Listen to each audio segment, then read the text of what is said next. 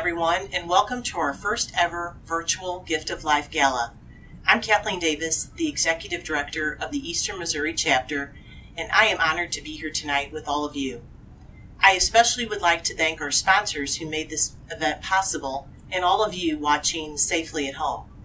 Tonight is going to be a wonderful mission focused and fun event. Now I'll welcome our MC for the evening, Chris Raby, who will be taking us on this virtual journey. Good evening, everyone, and welcome to the first ever virtual Gift of Life Gala.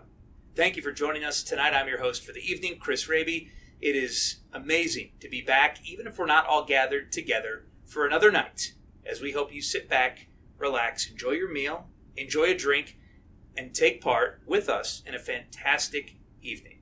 Tonight will make a difference and support kidney patients across Missouri, across the Metro East, and do some incredible things. The program that you're about to see would not be possible without our generous sponsors, and we'd like to start the evening by thanking them. Our presenting sponsor this evening is SSM Health St. Louis University Hospital.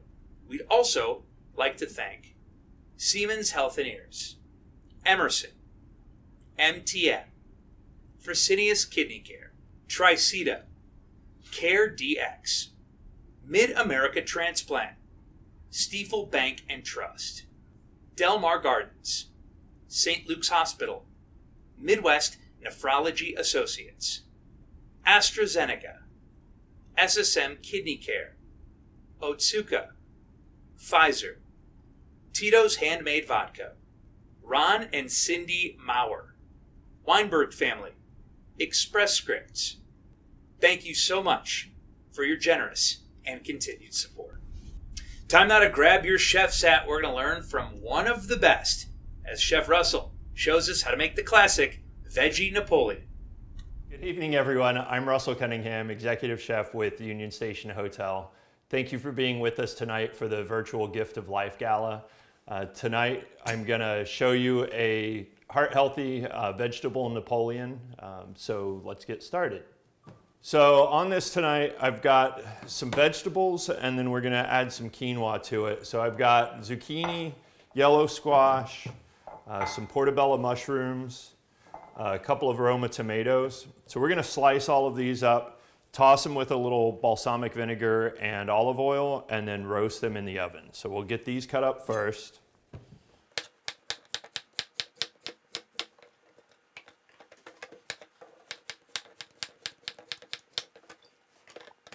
And then we're gonna toss the zucchini and the yellow squash with the balsamic first. And just a little bit, just enough to coat it. We're just to mix that around so it kind of coats on there. And then we'll do the olive oil after that so that that balsamic gets to soak in.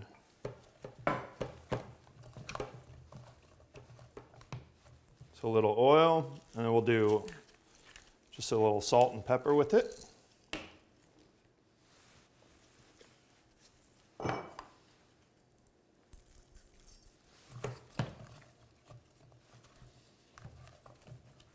right, and then we're going to put those on a sheet pan. So just kind of lay them out.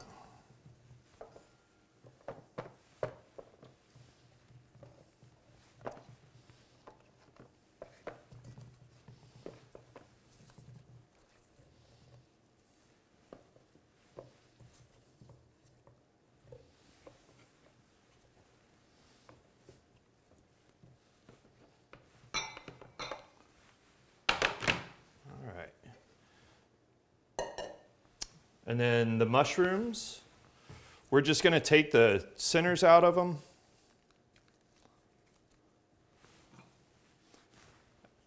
And with a spoon, we're just going to take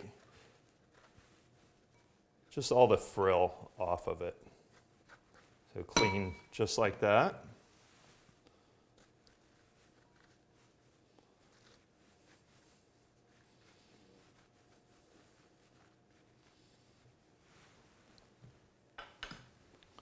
And then we're going to slice these as well, just at a little bit of an angle into four pieces.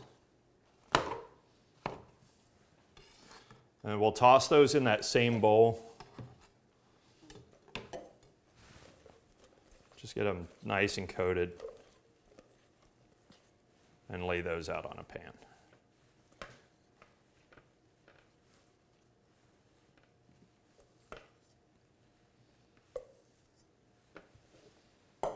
All right, and then last we're gonna take our tomatoes and just cut the ends off of those. And we're just gonna cut them into five pieces.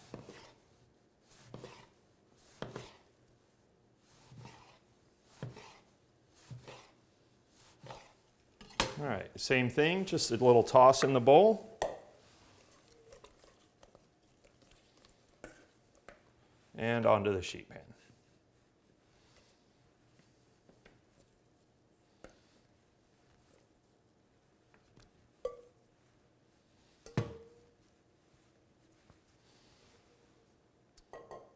All right, so once we've got all this laid out, we're gonna put this into a 425 degree oven for about 15 minutes, just until everything's cooked through, and we'll finish it off after that.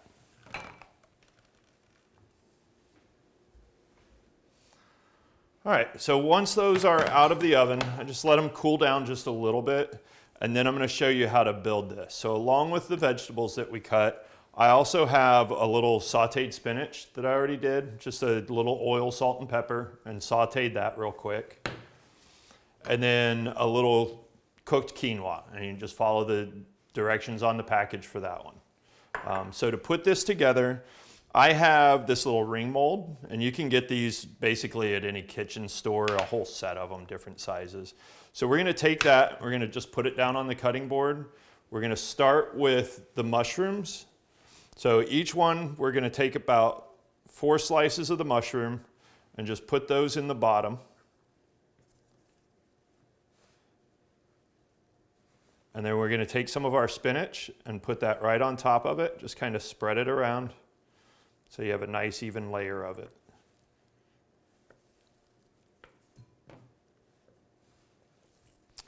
And so to get this nice and tight, I just take a spoon and just kind of push down on it on each layer so it's nice and compact. And then on top of the spinach, we're gonna do a little bit of the quinoa. Um, so we'll end up with about a half cup of quinoa in there. And same thing, you just wanna push that right down into the spinach. Just kind of go around the edges. All right, and then our other vegetables that we cooked are gonna go right on top of that. So I'm gonna do the zucchini, and we just kind of go around the edge on that, just enough to get you a layer.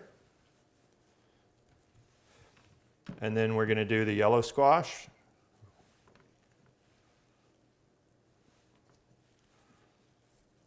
And then once it gets outside the ring, I just take my hand and just put some pressure on it. Just like that. And then we're just gonna do a couple of the slices of tomato right on top of there. Um, so then just be careful. I put a little pressure on top and then just pull that ring right off the top of it. And that's gonna be our vegetable Napoleon. So to finish this whole thing off, I've got a little bit of warm marinara sauce. We're gonna take a plate. We're just gonna do a little bit of the marinara sauce right onto the plate.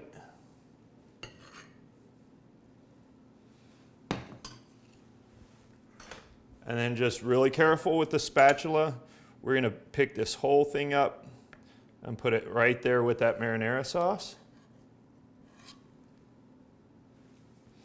And then tonight for my dinner, I'm just gonna do a little salad with it. You could do um, any kind of starch or extra vegetable or anything with it. This is just a little micro arugula.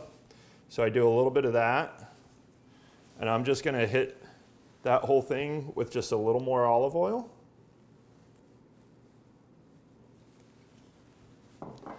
I've got some toasted pine nuts I'm gonna do on there.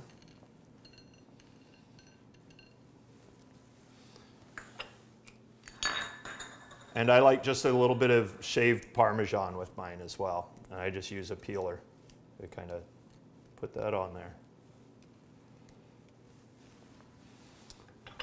And then just to give it a little tang, I'm just going to take a lemon and just do a little piece of that.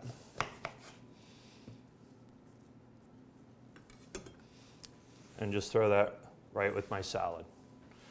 And that's dinner tonight. Uh, thank you for joining us. Uh, again, I'm Russell Cunningham with St. Louis Union Station Hotel. Um, hope you enjoy your evening. Hope everyone's having a fantastic time this evening, and we're about to have a little more fun. Get up, get your dancing shoes on or off, and put your hands together for a special musical performance by Sisters Magnolia and the Weeds.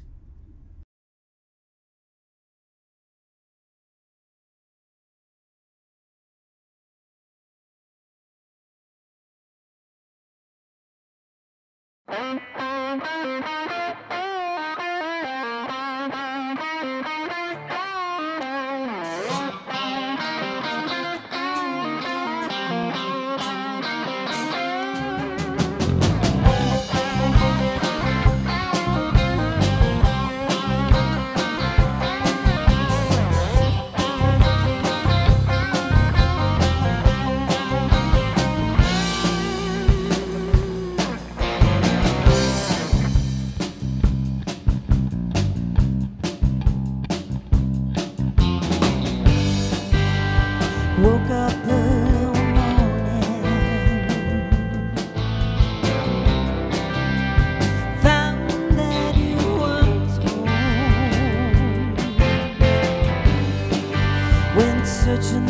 the it for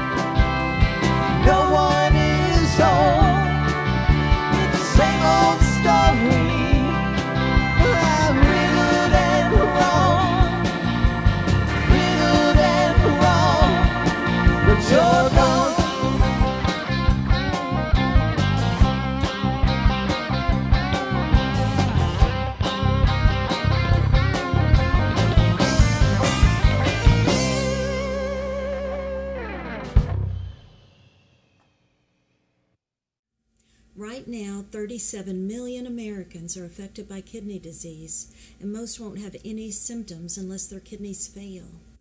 Our kidneys are vital organs that are just as important as the lungs, liver, and heart. No one can live without functioning kidneys. When kidneys fail, only immediate dialysis or transplant can save you. There are currently 100,000 people waiting for a kidney transplant. That's more than enough to fill up Busch Stadium twice.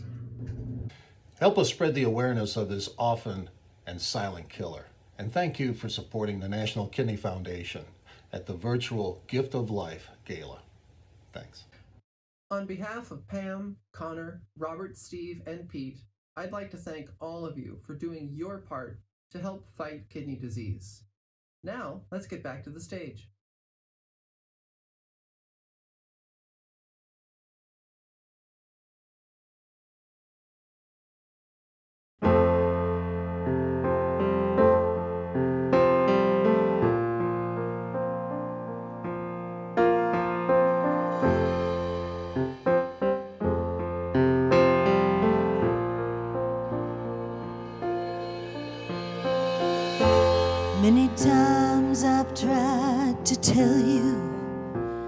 Many times I've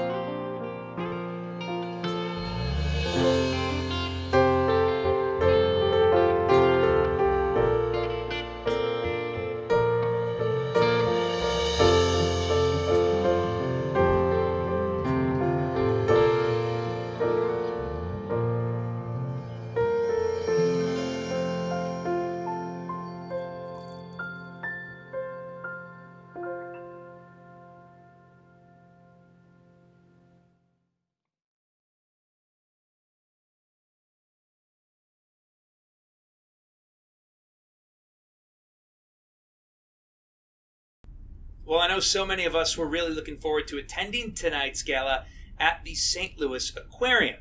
Tonight, we'll do the next best thing as we bring the aquarium to you with a special tour from our special tour guide, Sidney the Kidney. Take it away, Sidney.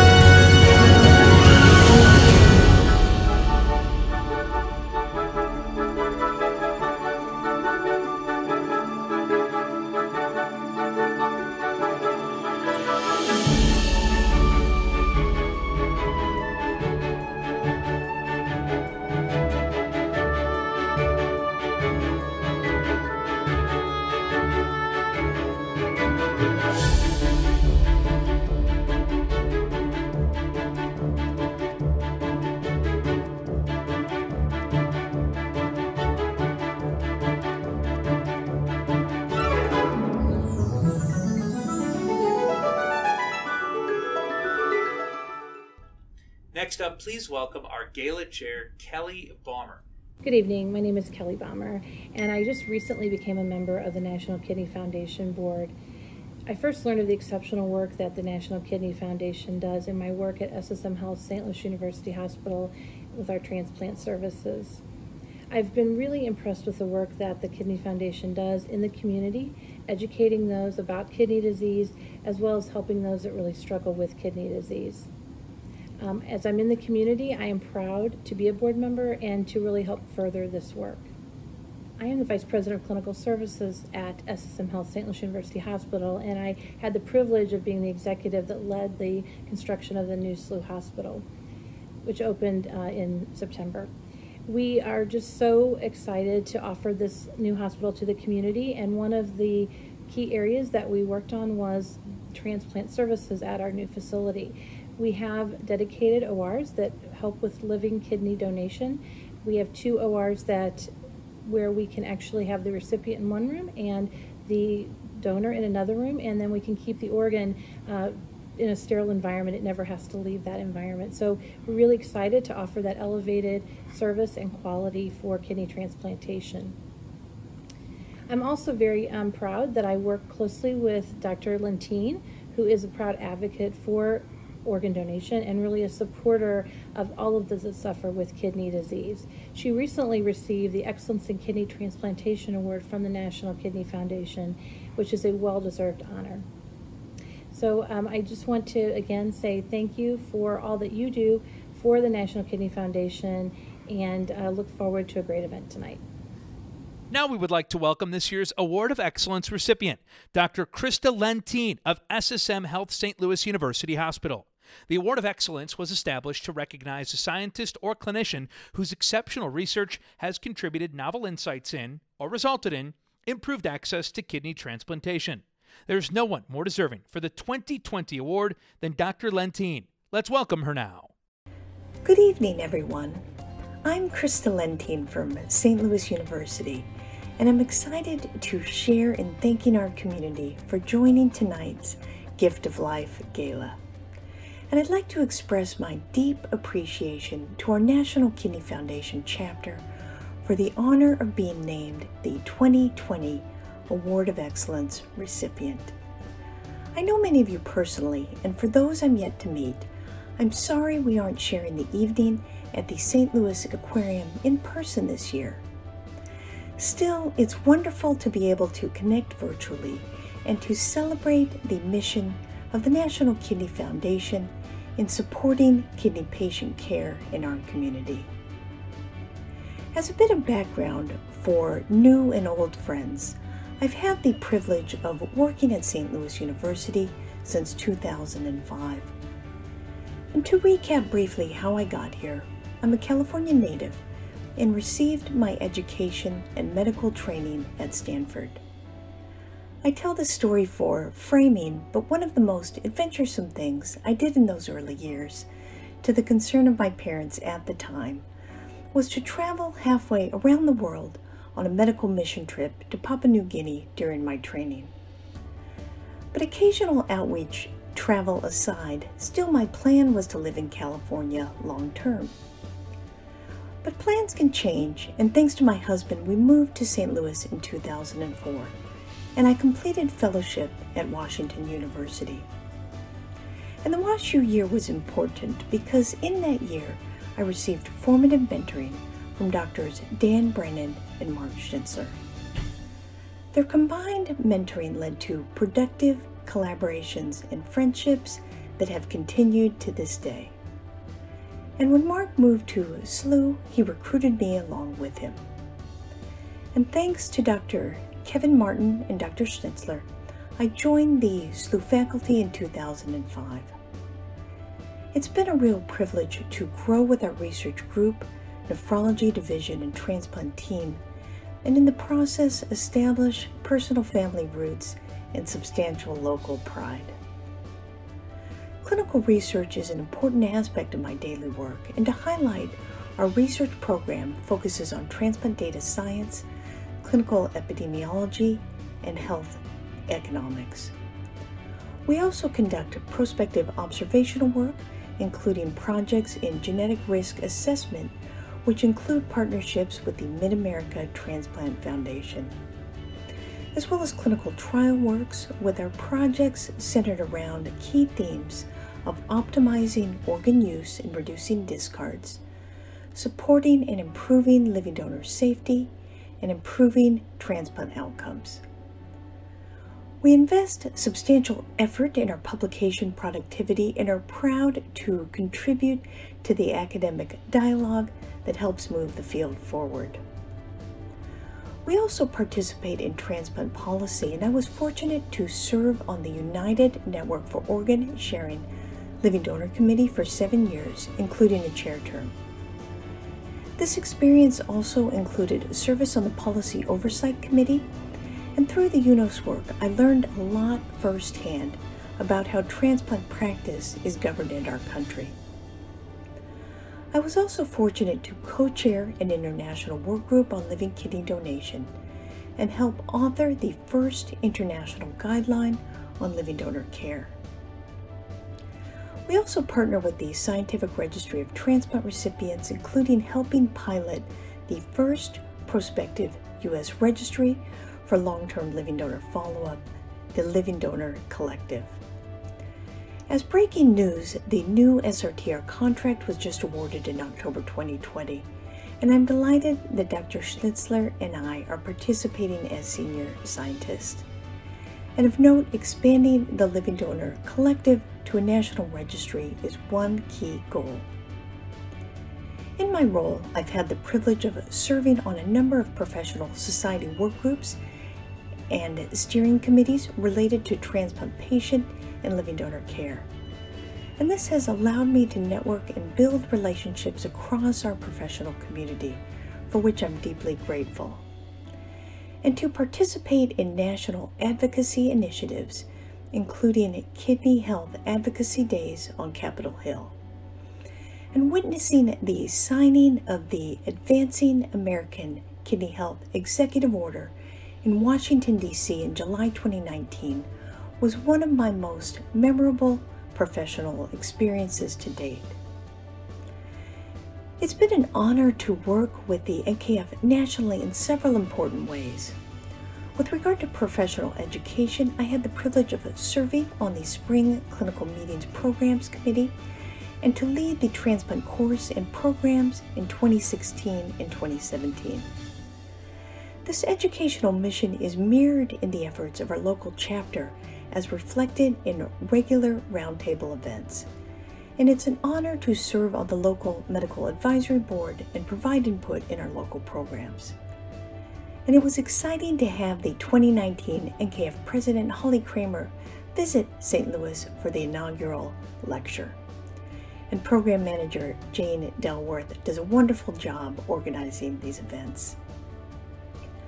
I'd like to take a moment to thank NKF National for the 2018 Massry Distinguished Lecture Award, which provided the opportunity to speak on balancing risk and autonomy in living kidney donation.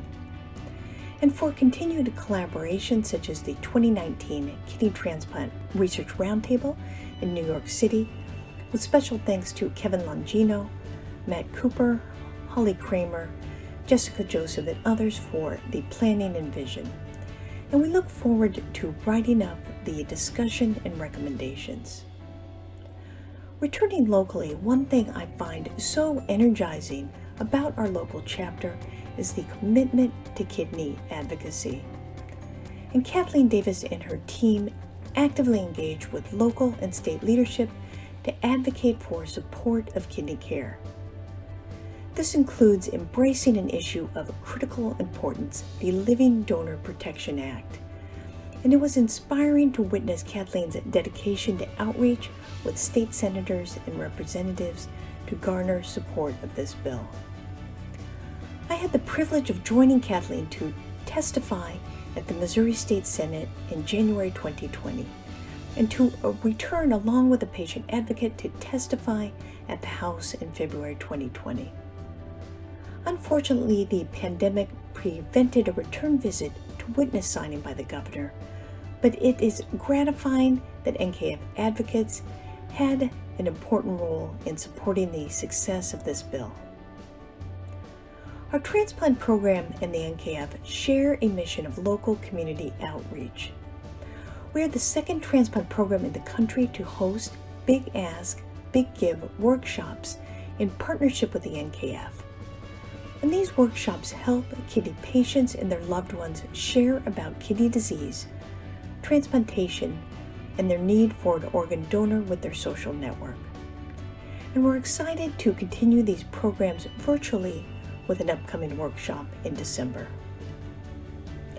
I'd like to recognize other local collaborators, including Mid America Transplant, both for their vision and partnership in providing organ transplantation to our community, as well as for their support of research and innovation, including the Jane A. Beckman Endowed Chair, created in partnership with the SSM Foundation that helps support my work. I'd also like to thank individual community advocates like Ms. Beckman for her outreach on behalf of organ donation. This is also an important time to recognize our nurse colleagues, fellows, and frontline workers. Here sharing some time pre-pandemic, and we're grateful for your dedicated service during the pandemic.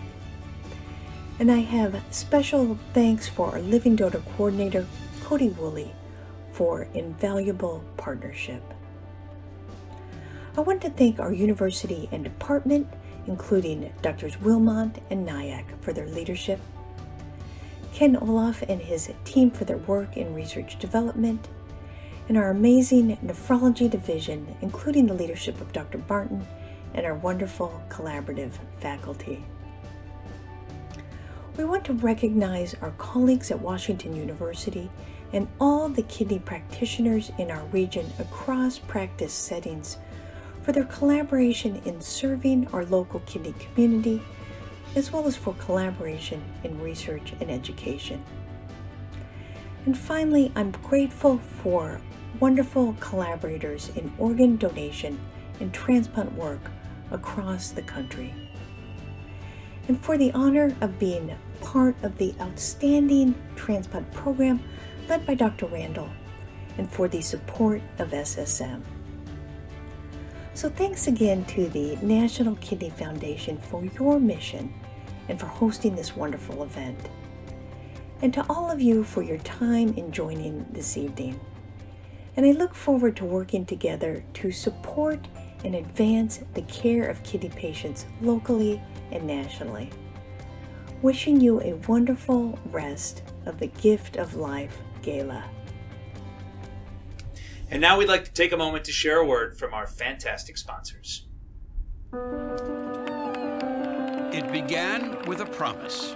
We said and have been saying for quite a number of years that we would open this hospital on September 1st of 2020. Well, we'd like to keep our word. The new SSM Health St. Louis University Hospital, at first just a collection of dreams and a series of drawings, is now a life-size, life-saving reality. This is a very special time for us. I really do feel that it's brought the staff and our physicians and really just everyone that works in this medical center closer together. And it's just great to be able to offer our patients and, and all our staff and our physicians that work here just this beautiful new place. You walk around here and there's uh, a lot of lights, bells, and whistles that looking back 20 years ago, I would have loved to have in training as well. And yet at the same time, um, you know, I'm fortunate to be a part of it now. I have been so impressed with just the patient focused nature of it. I think it's amazing. The new SSM Health St. Louis University Hospital is where our tradition of exceptional care and the future of medicine intersect in a transformative, state of the art, 800,000 square foot hospital and ambulatory care center. People will get their steps in, um, that's for sure. it's huge. It's huge. The new emergency department has tripled in size. We've got more stuff in our arsenal to, to care for the people in our area a little bit better. So I know just speaking from the ER, I know that we've got new and improved trauma rooms, new and improved patient rooms. So just being able to expand that space and have a little bit more area to treat more people for us is going to be huge. I think these the layout is great. The area that I will be working in is very spacious and new, clean, and fresh. A1, thumbs up. yes, I love it. The new SSM Health St. Louis University Hospital also represents a $550 million investment in the city of St. Louis that is already paying dividends in the neighborhoods surrounding it. It's just revitalizing this whole area. I think it's a real commitment as far as for where not only SSM but also SLU Care want to be. I mean, they're in the right place to do the right type of healthcare at the right time. I can't say enough about our staff. I am so proud of them and so proud of the opportunity that they will have working in this new facility. When we started this project in 2015, we actually established user groups um, for all of the areas, and we had over 400 employees, physicians, and staff that were involved in it. They've been amazing across this journey. You know, very understanding, you know, all the meetings, planning, you know, things to do last minute. When you see the end result, it was worth every minute. Definitely, we could not do it without their buy-in, but also without their, their creativity and their support, uh, which has been boundless. The pride, I think, will be oozing out of all of us. I'm really looking forward to everything being so spacious and so new is going to be just phenomenal.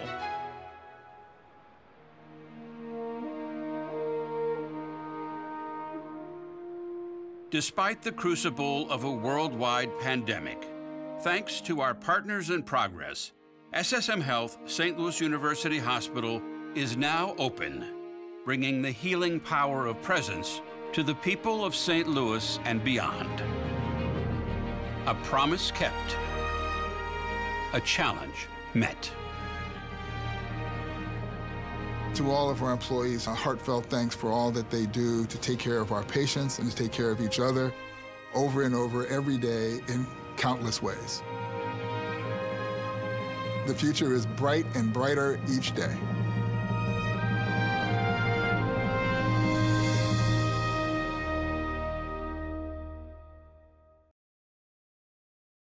Be nice. Respect others. Always be polite. Admit my mistakes and be honest. Be proactive. Begin with the end in mind. They said to always do the right thing. Integrity. No, that's the word of the month at our school. My definition would be like the state of being honest with others. It's when you do the right thing. Even when no one is watching. That's what it says on our pantry door. Et bon stillness. If it's not safe, then people will get hurt, and it'll give your company a bad reputation. And they also want you to feel like you're in a safe environment. You don't want anyone getting hurt, and you want the best possible product. Quality means um, doing a good job. You have to help people. You do. You really have to help. Empatía es importante. Accept others as who they are. Treat people how you want to be treated. If you be nice to people, then they'll be nice to you. Customer focus. Do you know what that means? Customers first. Listening to what other people say. It will be better if you put your customers first. If you really work with them a lot, you could start thinking of them as your like second family. Continuous improvement. It means that you always keep on improving. Even if it's little by little and, you know, the tortoise and the hare, tortoise still won the race. There's no point in doing anything if you're not gonna try to get better. Otherwise, you're just gonna stay where you are. And then other people are gonna keep on improving and they're just gonna rise above. This world is pretty much built on collaboration. You can't do anything without involving someone else. You have to work with other people. It's not about you. You have to all work together. Working together gets things done faster. Because if there's more people, then there's more hands to help. I feel like it's important to always look aside from your differences and continue to work with people to like achieve a goal. Yay, collaboration! Innovation means you're trying to invent new things, be the first to change the world. Invent something people will want and need. We have to come up with new ideas. Make it more better. New things that you haven't done before. 用科学技术解决了问题。 If people innovate, they can change and make things better.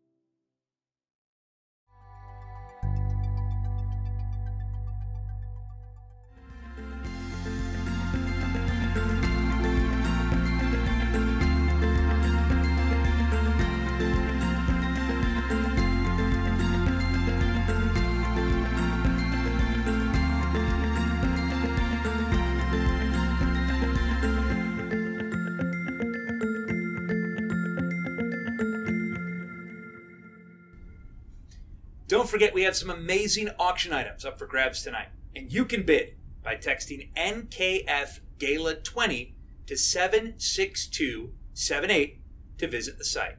That's NKF Gala 20 to 76278.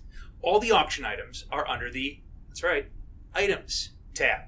So get your bids in now before the auction closes at 10 p.m. And now, we'll tell you about some of our fantastic premium items. Item 201 tonight is the weekend getaway that you and your significant other deserve. You'll enjoy a two night stay at this beautiful sanctuary guest house located in Washington, Missouri. Upon your arrival, rest and relax with a wine and cheese basket provided by the host. Don't forget to take advantage of the many gorgeous wineries in the area. Included with this package, a tasting certificate for four to Defiance Ridge Vineyards. Get away from the hustle and bustle with this weekend getaway. Relaxation awaits. Item 201. Item 202. Julie Underdown Photography is an award winning modern fine art photography studio specializing in families and their children. This $950 certificate includes a $350 session fee and $600 in product credit. Item 202. Item 203 is a generous donation from our friends at Window Nation. Window Nation has donated a certificate for $1,500 towards a window purchase. At Window Nation, they know their replacement windows. They're third generation window replacement experts who have been lucky to provide homeowners, more than a million of them, replacement windows, siding, and doors for over 15 years. Win this certificate and start planning your replacement today. Item 203. Item number 204 Westport Social Happy Hour. Grab your friends and head on over to Westport Social. With this certificate, you'll enjoy a semi private event space for a two hour weekday reception at Westport Social. That will include food and beverage for a party of up to 20 guests. Food will include five selections from the small plates menu. Beverages offered will include two premium bar drinks per person on a mutually agreed upon date. Item numbers 205 and 206. Our generous friends from the Diamond Bar have donated two $500 gift certificates. That's right, there are two up for grabs tonight. Items number 205 and 206. From custom engagement rings to the perfect anniversary gift, they will make it incredible. Handcrafted pieces around any style and budget, right here in St. Louis. Let them create a custom piece for you. Item number 207. Don't miss this lady's 7 inch double strand white cultured freshwater 6 to 6.5 millimeter pearl bracelet with a white gold filigree flower clasp donated by Genovese Jewelers. Treat yourself to this stunning piece. Item number 208. Looking for that perfect anniversary or Christmas gift? Then look no further than this lady's 16 inch pearl necklace containing 6.5 millimeter pearls and 14K white gold filigree flower clasp donated by Genovese Jewelers. The off white pearls shine like you wouldn't believe. We also have some amazing wooden kidneys up for grabs tonight.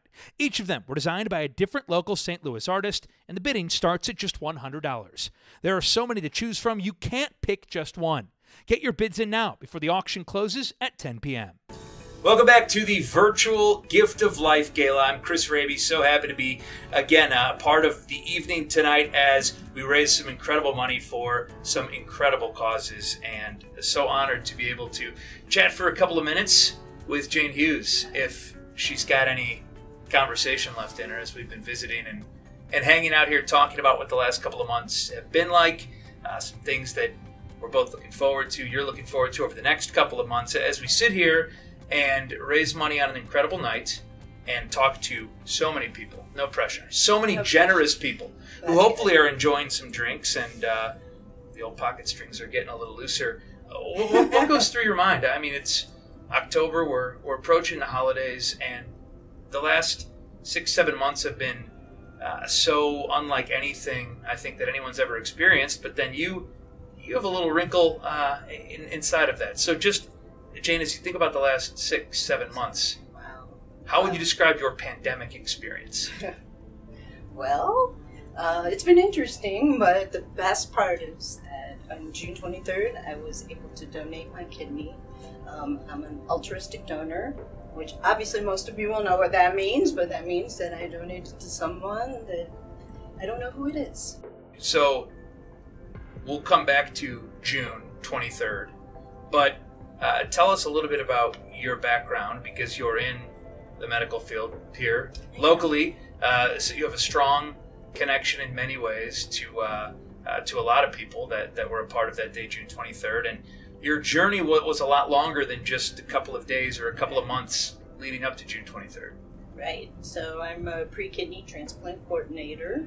Um, I've been working in transplant for about four and a half years.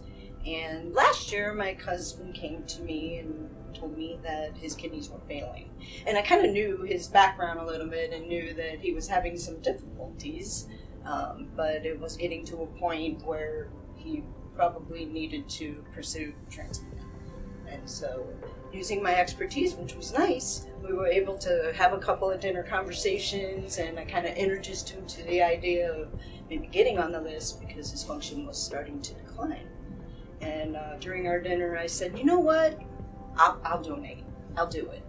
You know, and he was like, oh, yeah. You know, and I mean, it's a casual conversation. You're thinking, okay, whatever. But I said, no, really, I will. So he signed up, uh, you know, got his questionnaire in, and uh, started his evaluation, and I, I started mine. And several family members did as well. So, uh, so 15 months later, June 23rd, I ended up not donating to him at all. So uh, there, was, was a lot of things that transpired uh, in that time. Uh, a lot of testing that was done, um, and more testing, and more blood work, and more. it's incredible what they put the donors through, which is really not a bad thing, right? So they want to ensure that you're safe, that you are healthy enough to do this. And so, uh, 13 months into it, uh, I was uh, told that he had a compatible donor. And I was like, hmm, okay. So it was probably about a month away from being signed off. And uh, I thought, well, you know, I, have come this far. We've, uh, I've you know, almost there, and why not just keep going? So that's what I did.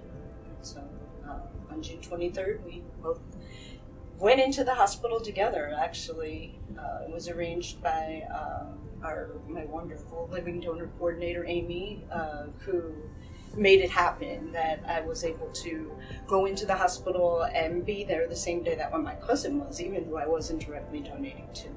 So, I know the team, right? I work with them every day. We have amazing surgeons, No doctors. pressure, guys. Yeah, right. You know, uh, coordinators, nurses, uh, and even our administrative assistants. Everybody has that same focus and goal: is to make somebody's life better, give somebody a kidney, and or get them a kidney, and make their life better than it is. How, how did the familiar comforts help you through the process, Jane? Because it's one thing to consider perhaps doing something like this, making a sacrifice like this, but then when faced with it actually being reality and you've got a date and you've got you know a countdown uh, to have your cousin going through it with you at the same time to have the familiar uh, folks within the workplace at barnes to know uh, the program and how incredible the program is as, as well as anyone how did that familiarity help get you through the journey? Well, of course, like I said, I knew I was in good hands with the team, but at the same time, it was very different because this time, all the testing was being done to me. And I've been a nurse for 22 years and always told my patients. you weren't on the sidelines anymore Yeah, right, right. I've always told my patients, wow, I can dish it out, but I don't take it very well, you know? And here I was um, doing MRI, CT scan, blood work. I mean, you know, just everything that a, a donor and a recipient goes through. And, you know, uh, no special treatment there, right? So I went into Barnes and went to the, and waited in the waiting room just like everybody else. Um, but I did see firsthand how amazing the you know the different departments were, how, much they treated me with respect. Each department, whether it was the lab or CT or MRI or wherever I was going.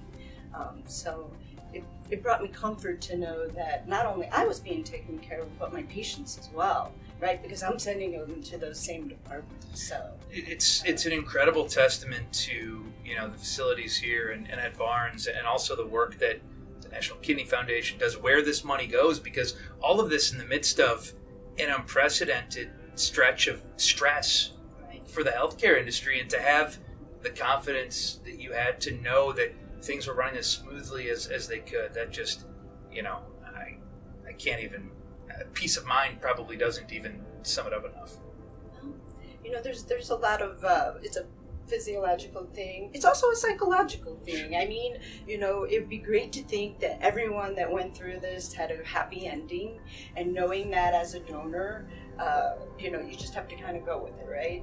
Uh, and hope and pray. I do a lot of praying, especially now, and not knowing this guy or this woman who I've donated my kidney to. Pray for them every night, hoping that that they're living their best life.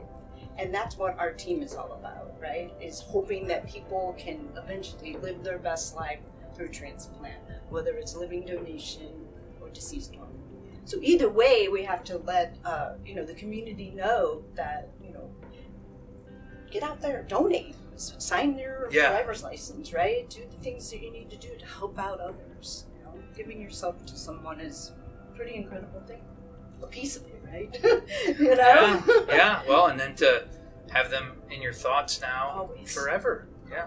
Tell us, your cousin was there. What it was like in the days, the weeks, and now it's been a few months uh, since the procedure. Well, what was the recovery like, uh, and what was the benefit of again having so many familiar Right. people on your team around you guys? So I was shocked, actually. My biggest fear was pain. It, it sounds silly, but you know, thankfully, I'm uh, gonna be 54 in a couple of weeks, and I've been healthy my whole life. So I'm going through this major surgery, thinking, "Oh my gosh, what am I up against?" So I'm gonna wake up and think, "Oh, I, I didn't know what to expect." So woke up, and I thought, "Okay, I'm all right." You know, looked around, and I got a little sick that night. of anesthesia. The next day, I got up, and I thought, "I'm okay." So I started walking the halls. I'm like, I'm gonna get up and go for a walk and go find my cousin. And uh, he was actually texting me at midnight, the, the night of surgery. Hey, how are you? You know, what room are you in? And you know, we were texting back and forth. And then the next day, I got up and went and found him. You know, uh, so that brought me so much comfort because there was, I'm still a no visitor policy.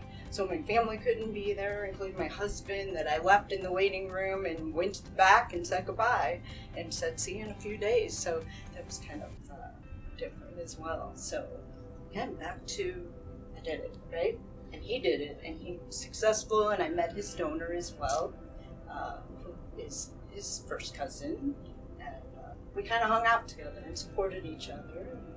We've been doing that since post transplant as well.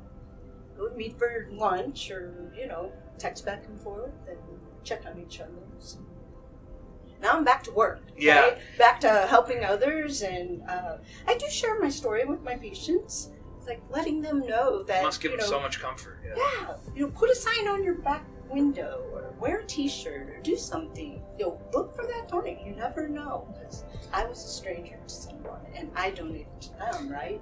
So it's possible that it could happen for them as well. Yeah, and, and finally, uh, you mentioned it uh, a bit earlier, but for, for someone who uh, they or their, their family hasn't been touched by this, uh, don't have any uh, firsthand experience like you, that they're not, you know, in the middle of um, in the middle of the expertise.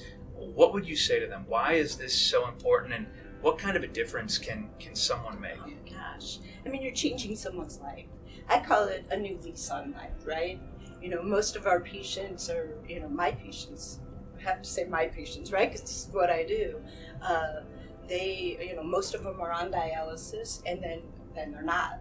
You know, they they are now feeling better. They have energy, as I do now.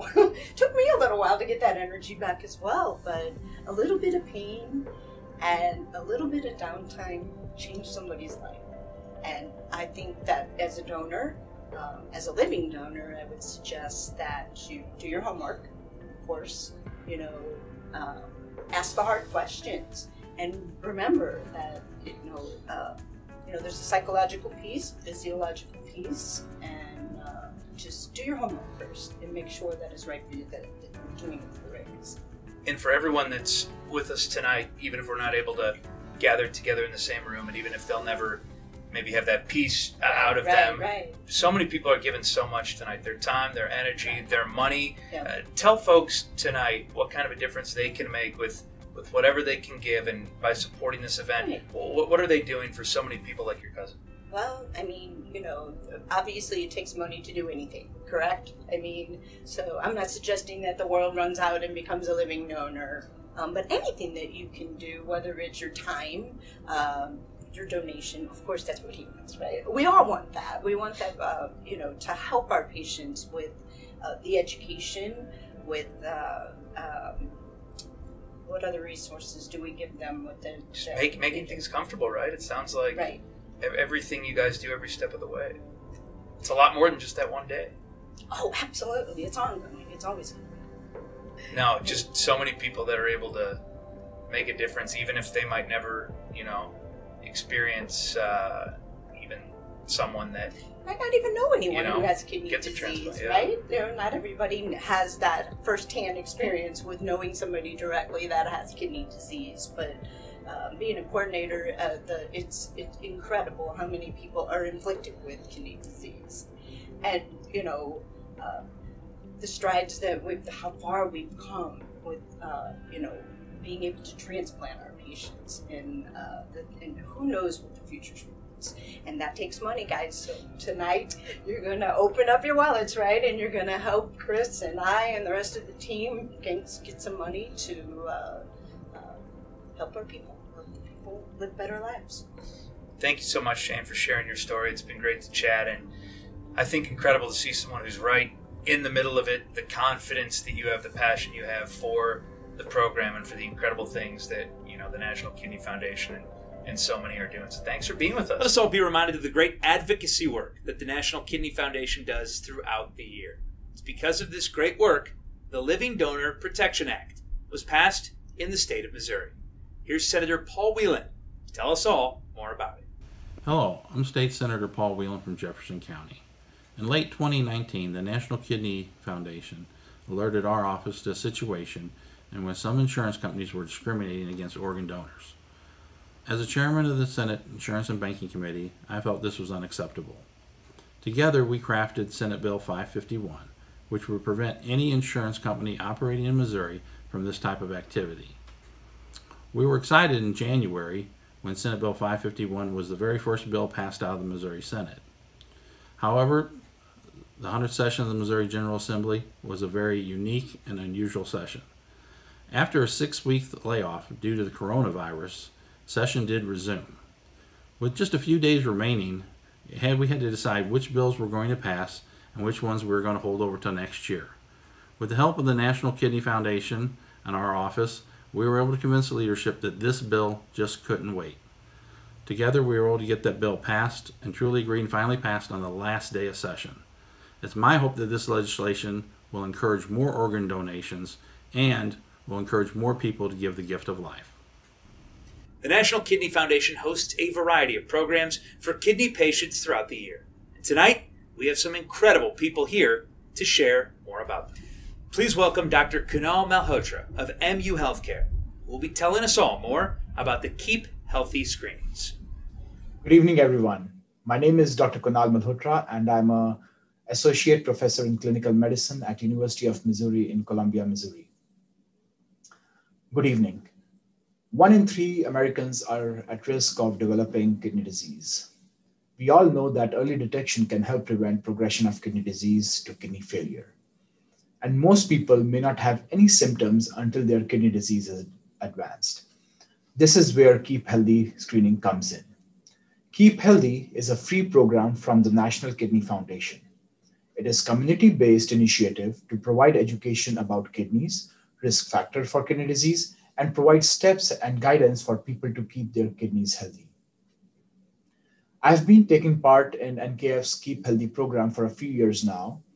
Kathleen, Jane, and their team puts up this event in a truly collaborative way with multiple stakeholders involved. Everybody comes together with a common goal of better outcome for the people in our communities and the patients we serve. In Columbia, Missouri, the event is usually held at the public library and is open to everyone. It is well organized with ample space, designated workstations, and smooth flow for people who come to get their screenings done. While many attend after hearing about the program in local media or word of mouth, there are many people who come because they happen to be in the area. And they're truly surprised by the quality of information they get and are always thankful and show gratitude for learning something new, useful, and actionable. Keep Healthy Checkup includes a risk survey, a body mass index calculation after checking weight and height, blood pressure check, a urine test for detecting protein in the urine, and after that, the patient see a dietitian and a healthcare provider for, uh, for their guidance and also get free education material. People who are found to have risk factors are given specific instructions to call their primary care doctor and report the findings that are written down and handed to the attendees. People who don't have healthcare providers are given a list of local resources that they can call to make an appointment. In the end, I would like to say that Keep Healthy program is hugely valuable experience for participants that go through it. There's a chance for people to truly become aware of kidney disease and their own risk. It makes a difference in people's life, and that is the number one reason I volunteer for it every year. Thank you and have a nice day. Now, please give a warm welcome to Dr. Anubha Mutneja of Barnes Jewish Hospital, Washington University, St. Louis, to share her experience with the Renal Roundtable Program. Hi, everyone. This is Anubha Mutneja with Division of Nephrology at Washington University in St. Louis. It is with great pleasure this evening that I want to share my thoughts regarding the NKF Renal Roundtable program. As you all know, the Renal Roundtables are a series of locally based educational events where experts present the most up to date information on a topic and then open the floor for discussion among participants. This is a program that not only allows sharing of case studies, common experiences, and best practices but it also gives the attendees an opportunity to build relationships in the community with respect to referrals and medical consults, ultimately leading to better patient care. The St. Louis NKF office has done an outstanding job at recruiting quality speakers and topics that are relevant to the local renal community and it's been a great program to bring the nephrology community together. Please welcome Jane Beckman to share a little bit about the Big Ask, Big Give program and her experience with living donation. Good evening. My name is Jane Beckman, and it is my pleasure to be a part of the 2020 Gift of Life Gala. I'm here this evening to talk about the Big Ask, the Big Give. The Big Ask, the Big Give is a program developed by the National Kidney Foundation to increase living donation and transplantation. You know that kidneys from deceased donors are absolutely critical and save thousands of lives every year. But kidneys from living donors last longer and are better functioning. Many times they can just pop that bad boy right in there, fires right up, gets to working, and everybody's good to go. So living kidney donations are absolutely the preferred donation. The Big Ask, the Big Give teaches kidney patients and their families how to make the big ask to family members, friends, the community, even complete strangers, so that those people might consider making the big give of a life saving organ. Did you know that the St. Louis chapter of the National Kidney Foundation hosted more than 25% of all the Big Ask Big Give programs in the whole NKF? Over 25%. This St. Louis chapter really is helping people out. My own story is a good example of you'll never know until you ask. I was reading the paper about a guy who needed a kidney. So he walked around Disney World said with a shirt that said I need a kidney and his phone number. Another guy was walking around Disney World. He saw the shirt. He thought, "Geez, I wonder if I can do that." So he made the call, and sure enough, several months later, he was able to, to give his kidney to the first guy. I read that article and I thought, geez, I wonder if I can do that. So I called St. Louis Transplant, and sure enough, five months later, my left kidney went to live with my new friend Jack down in Arkansas. Over two and a half years later, we're both doing great. Until I got involved with the transplantation process, I had no idea that living kidney donation was even a thing. And I had no idea that so many people were waiting for a kidney while I was walking around with a spare. And I had absolutely no idea that I could help two people live longer, healthier lives by donating just one kidney when I started a chain. So, my point is, you never know. You just never know who you might reach with the big ask, who might be at the right point at the right time in their life where they'd be willing to give a life saving organ. Thanks again for including me this evening, but I can't leave without saying congratulations to Dr. Krista Lentine for receiving the Award of Excellence tonight. There is nobody who deserves it more, that's for sure. In my book, she's the greatest nephrologist since the invention of the kidney. So, congratulations, Dr. Lentine. Thanks to everybody, and I hope you all have a great evening. Please welcome NKF board member Keith Guller to share his experience with Sidney's birthday box. Good evening. My name's Keith Guller, and I'm a board member of the St. Louis Kidney Foundation. Thank you for being with us tonight for the Kidney Gift of Life Gala. We've all had our fill with COVID quarantining, but imagine your life if you were living day to day with kidney failure and on dialysis. Almost half of individuals with chronic kidney disease, CKD, also have diabetes and or self-reported cardiovascular disease.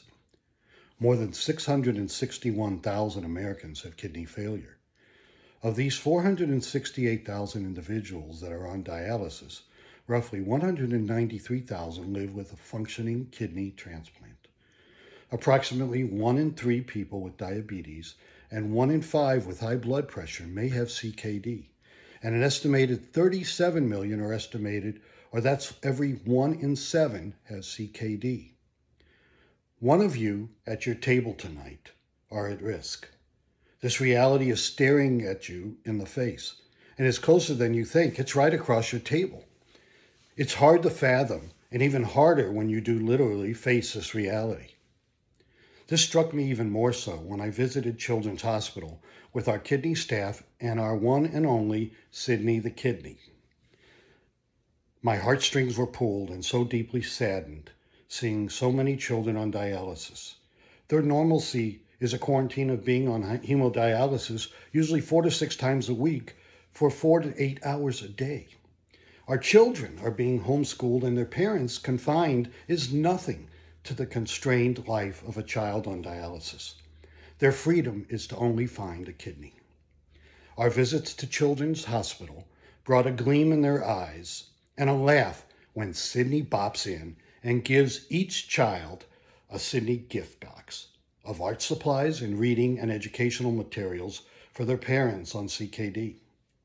You can't imagine the joy on the children's faces that one short visit brings. And think about the sadness as we leave. We go back to our normalcy. They go back for dialysis, for dialysis again. Schooling is always homeschooled. Playgrounds have always been yellow taped now. Friendships are strained and social distanced. Donating to the Kidney Foundation is not just for fighting kidney disease, kidney screenings, renal roundtables, but they're for smiles to children. In one brief moment in our lives, that can provide an eternity for a child, a memory of a visit from a dancing kidney. Giving is so much more, and I encourage you to do so for a child's smile. Thank you. Thank you again for being with us, and thank you for your generosity to give this evening. Bless you. Let's help them keep up the great work that they're doing tonight by donating. Again, text NKF Gala 20 to 76278 to visit their website and make a donation today. There are so many different levels you can give. Remember, though, when you donate just $100, it'll fund a stuffed animal for a child in the Sidney's Birthday Box program. So please visit the GiveSmart site and make a donation tonight. Just text NKF Gala 20 to 76278.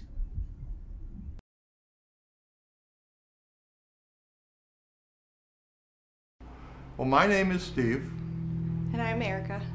and uh, we've been kind of on a mission. We lost somebody in our family, Douglas Stephen Sundance Merritt. He had some kidney failure, and uh, on his very first dialysis that was not in the hospital, um, things kind of fell apart.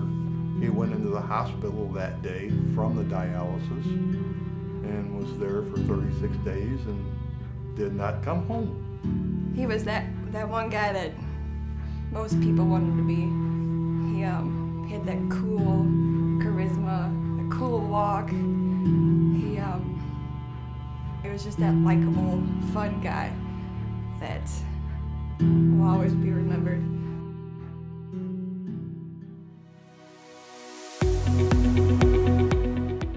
The National Kidney Foundation had the, the national walk for St. Louis area. Ended up going there, and I just looked around, and there was all kinds of families represented, and uh, and I was kind of like, where, where's the representation for the guys that wanted to but didn't make it? We got to talking about it, and Erica made some calls and got a hold of a few people, and lo and behold, we came up with the idea that, you know what, we're going to make a wall to honor the guys that, guys and girls that didn't make it.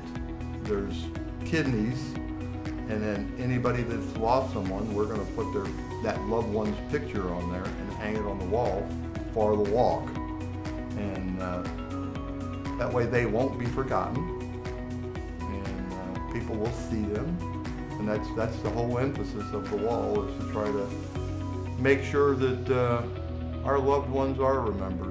When we're done with the walk or you're done with the gala, you'll get to take this beautiful kidney home with you.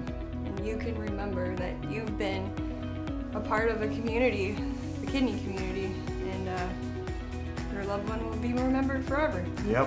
When things get to where we can do it in person, Mhm. it'll be a more interactive wall where you'll come to the memorial tent, get your picture sent to a printer right there on the spot, Yeah. and we'll get the picture on the kidney and it'll be there. And so all you got to do is take your phone and email it or text it right to that printer, and we'll we'll make a picture right then and there. If you would like to have your photo on the wall, you can just reach out to the Kidney Foundation and uh, they'll set it up for us.